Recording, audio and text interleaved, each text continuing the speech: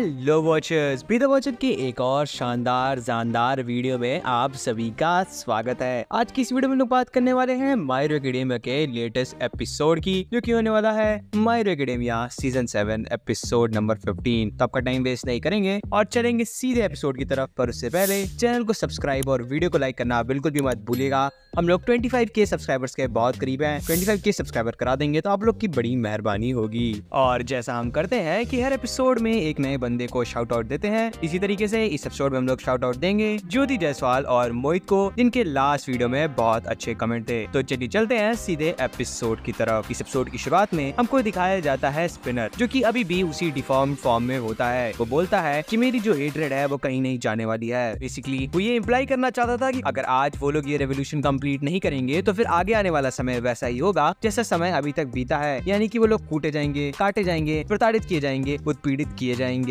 और क्योंकि वो बाकी सारे हेट्रोमॉफ्स का स्पोक्स पर्सन था तो उसकी आवाज़ सुनते ही सारे बच्चे और भी ज़्यादा एनर्जेटिक हो जाते हैं। वो सारे बंदे तैयार हो जाते हैं हॉस्पिटल की तरफ़ अटैक करने के लिए। फिर हमको दिखाया जाता है स्पिनर जो की फाइनली हॉस्पिटल के अंदर घुसने में कामयाब हो जाता है। और बैकग्राउंड में हमको ये भी बताया जाता है की कुरुगिरी का क्वर्क ये बैटल कम्प्लीटली डिसाइड करेगा। स्पिनर के पीछे पीछे बहुत सारे बंदे और भी आ जाते हैं हॉस्पिटल के अंदर। पर टू देयर सरप्राइज़ वो देखते हैं, वहाँ पे बहुत बड़ी डॉक्टर और नर्सेस की चेन होती है, जो कि प्रोटेक्ट कर रहे होते हैं पेशेंट्स को। उनके साथ कुछ हेटरमॉफ्स भी होते हैं और काफ़ी सारे नॉर्मल इंसान भी होते हैं। फिर हमको एक फ्लैशबैक सीन दिखाया जाता है, जहाँ पे हॉस्पिटल के अंदर आए सारे हेटरमॉफ्स याद कर रहे होते हैं कि कैसा हमें टेंटरपूल ने बताया था कि जब हीरोज ने जाफो हॉस्पिटल की रेड की थी तो उन्होंने सारे पेशेंट्स को बचाया था। और विलेंस ने या फिर इन राइटर्स ने या फिर इन रेवोल्यूशनरीज ने जब भी अटैक किया है तो उन्होंने किसी भी को भी बचाने का कोई भी प्लान नहीं बनाया है। इसका मतलब वो लोग अच्छे की साइड में नहीं है और ये देखने के बाद वो लोग थोड़ा सा घबरा भी जाते हैं। फिर आता है इस एपिसोड का इंट्रो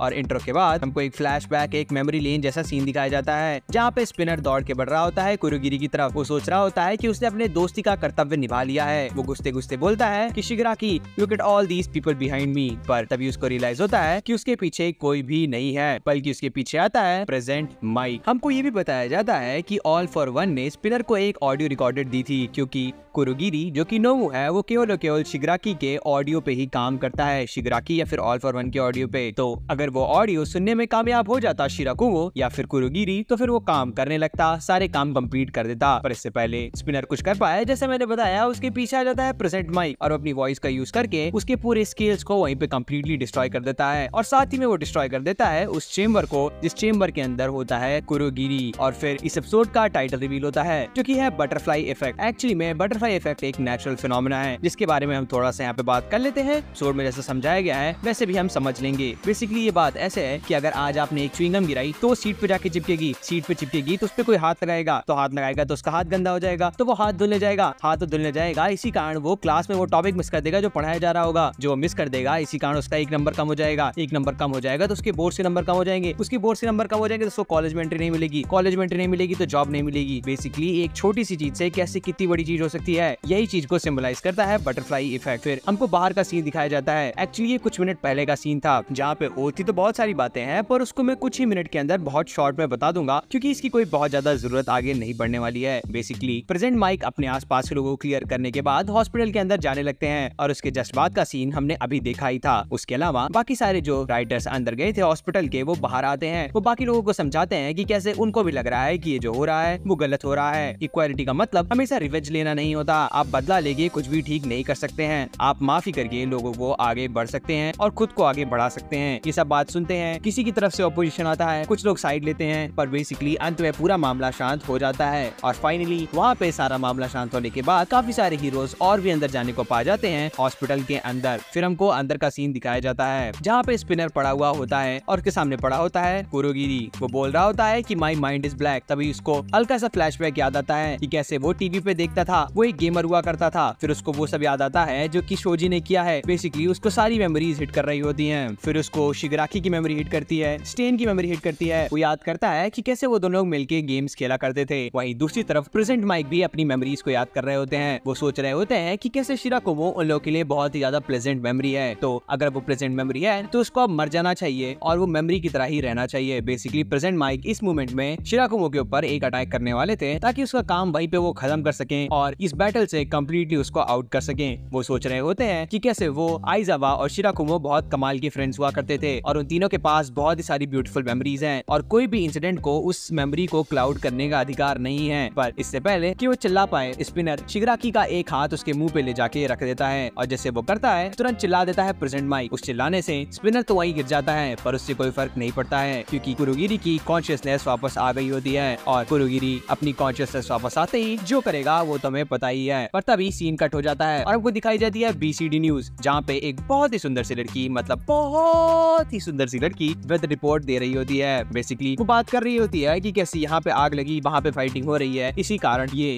वेदर में फोरकास्ट चेंज हो रहा है, बारिश हो रही है। और यहाँ पे हमें एक और बार बटरफ्लाई इफ़ेक्ट के बारे में समझाया जाता है, जहाँ पे वो लड़की कहती है कि क्या पता ब्राज़ील में एक छोटी सी बटरफ्लाई ने जो अपने पंख फड़फड़ाए थे, उसी के कारण टेक्सास में हरिकेन आ रहा है, एक छोटा सा हवा का झोंका, जो कि ब्राज़ील में निकला था, वो टेक्सिस में यूनाइटेड स्टेट्स में। आते आते एक हरिकेन बन गया है। सिमिलरली हीरोज की छोटी छोटी गलतियाँ आज बहुत बड़ी गलतियों में बदल चुकी है। बेसिकली वो ऑल फॉर वन की साइड होती है। नो वो यही बैनर लेके उस लाइव मीडिया के सामने भी खड़ी हो जाती है। सब लोग चिल्ला रहे होते हैं की बंद करो बंद करो शो बंद करो भाई एड्स लेके आओ, पर उससे कोई फ़र्क नहीं पड़ता, क्योंकि एक रिपोर्टर ने लाइव टेलीविज़न पे एक सबकी बहुत बड़ी मन की बात बोल दी है। फिर हमको वॉशिंगटन डीसी का भी सीन दिखाया जाता है, जहाँ पे काफ़ी सारे लोग चिंतित होते हैं, पर उससे अब क्या ही फ़र्क पड़ता है। फिर हमको दिखाया जाता है कामिनो वार्ड का सीन जहाँ पे डाबी अभी भी चल रहा होता है, अभी भी भबक रहा होता है और वो इकलौता होता है जो की लड़ने की कंडीशन में होता है। बाकी सारे लोग उसकी हीट से बहुत दूर भाग रहे होते हैं। इंजीनियम कहता है छोटो को की वहाँ से कट लो भाई, तुम तुम भी जल जाओगे। पर छोटो को यकीन नहीं हो रहा होता है, क्योंकि पहली बात तो उसकी बॉडी तो हीट रेजिस्टेंस थी भी नहीं, फिर वो कैसे इतना ज़्यादा स्ट्रॉन्ग था? वो कैसे इतनी सारी हीट को मेंटेन कर पा रहा होता है? छोटो सोच रहा होता है कि कैसे उसके अंदर भी उसके बाप का खून बहता है तो वो लड़के रहेगा। पर उसको भी धीमे धीमे रियलाइज़ हो रहा होता है कि ये खून की बात नहीं है, ये कुछ और ही है। फिर डाबी को ये रियलाइज़ होता है कि इससे कोई फ़र्क नहीं पड़ता कि अब वो क्या करे, क्योंकि उसकी बॉडी धीमे धीमे क्रम्बल हो रही है और वो कोई चांस नहीं है कि वो उड़ के यहाँ से गुंगा विलेज साइड पे जा सकता है। उसको काफ़ी ज़्यादा गुस्सा आ रहा होता है वॉर्प कर के ऊपर पर तभी गेट खुल जाता है वॉर्प कर का, और फाइनली कामयाब हो जाता है डाबी दूसरी तरफ़ जाने के लिए। पर उससे पहले हमको कॉफ़ी द स्काई का सीन दिखाया जाता है, जहाँ पे मोनमा अभी भी कम्प्लीटली फाइट को रोक के रखा होता है अपने इरेजर क्वर्क की मदद से। वो कह रहा होता है कि ये फाइट 100 परसेंट टेक्स्ट बुक्स में जाने वाली है हिस्ट्री में लिखी जाने वाली है। तो फिर मैं पूरी तरीके से अपना क्रेडिट लूँगा। मेरा नाम टेक्स्ट बुक में जाना चाहिए। फिर वो कहता है की एड शॉर्ट लेमिलियन जीनिस और मिडोरिया अभी भी अपना बेस्ट दे रहे हैं। तो वो भी अपना बेस्ट देगा। पर जैसा मैंने कहा कि इससे पहले कुछ और हो पाए, आ जाता है कुरुगिरी का क्वर्क और उसी का भी सामने आ जाता है एंडेवर के। और एंडेवर का मुँह हल्का सा तो बनता ही है, पर उससे अब क्या ही फ़र्क पड़ता है? पर उससे भी बड़ी प्रॉब्लम अब हमारे सामने आ चुकी है, क्योंकि हम दूसरे वॉप से निकलते हुए देखते हैं किसी और को नहीं, बल्कि ट्वाइस को। फिर हमको बताया जाता है कि एक्चुअली में ट्वाइस नहीं है, बल्कि ये वो लड़की है। उस लड़की के अंदर का गुस्सा है, जो कि ट्वाइस बन के सामने आया है। फिर ऑल फॉर वन अपनी बातें करना चालू करता है। ऑल फॉर वन बताता है कि वो हमेशा बेट करता है ह्यूमंस के इमोशन पे, क्योंकि उसे उन पे पूरा भरोसा है। जैसे कि उसने बेट किया था स्पिनर के इमोशन पे, ये प्लान कंप्लीट करने के लिए जो कि उसने कर लिया है। दूसरी तरफ़ उसने बेट किया है हिमिको टोगा के इमोशंस के ऊपर और उसके डेथ मैंस परेड के ऊपर। फिर हमको कुछ मिनट पीछे का सीन दिखाया जाता है, जहाँ पे अभी भी सब लोग लड़ रहे होते हैं उस आइलैंड पे।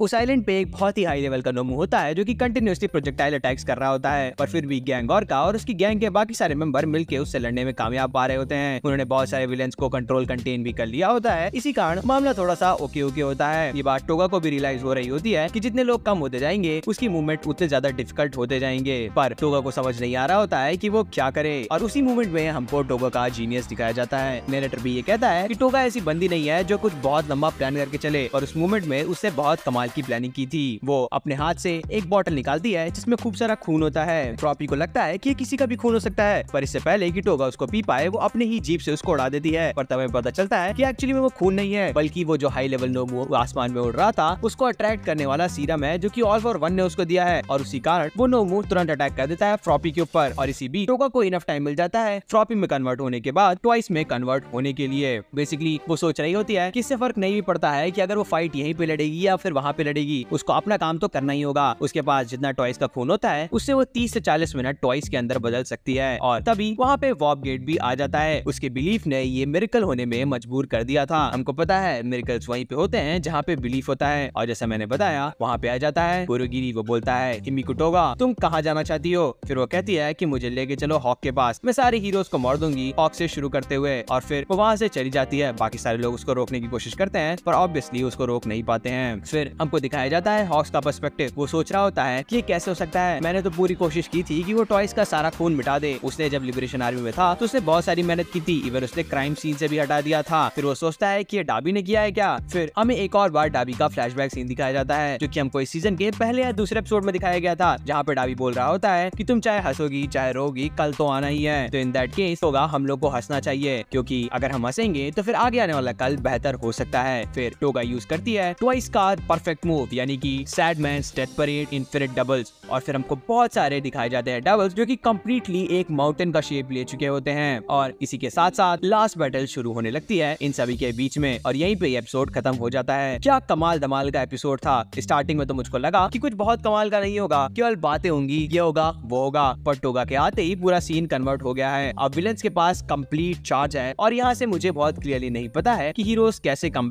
कर पाएँगे। पर हीरोज तो हीरोज हैं। हमको उनके अंदर तो पूरा विश्वास रखना ही होगा। उनके पास नहीं तो फिर हम किसके पास विश्वास अपना डालेंगे? पर कुछ लोग तो हीरोज के ऊपर विश्वास नहीं रखते। एनीवेज ये सब बातें हमारी दुनिया के लिए नहीं है। हमारी दुनिया के लिए है सिर्फ़ और सिर्फ़ एंजॉयमेंट तो आप इसको बिल्कुल एंजॉय कीजिए। हमारे चैनल को सब्सक्राइब कीजिए वीडियो को लाइक कीजिए। आपको क्या वीडियो चाहिए, उसको कमेंट में बताना बिल्कुल भी मत भूलिएगा। हमारे एक एक कमेंट पढ़ रहे हैं तो आप तो अगर आपको कोई भी वीडियो चाहिए तो उसको ज़रूर बताइएगा। फ़िलहाल तो बस, फ़िलहाल के लिए तो इतना ही। So thank you for watching comment करना बिल्कुल भी मत भूलिएगा एंड बी द वॉचर